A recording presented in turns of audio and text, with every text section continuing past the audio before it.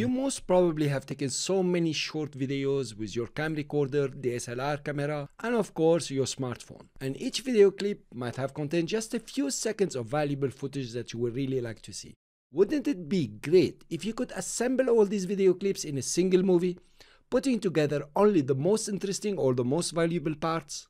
In this course, you will learn how to gather your video clips in a single project, cut unnecessary parts, sequence them, and join fragments with awesome transitions. Apply text effects, remove or mask certain scenes, and produce your movie to be uploaded for others to view. Hi, I'm Louay. I'm an expert in Adobe After Effects and motion graphics. After Effects is an easier and practical program to edit your videos.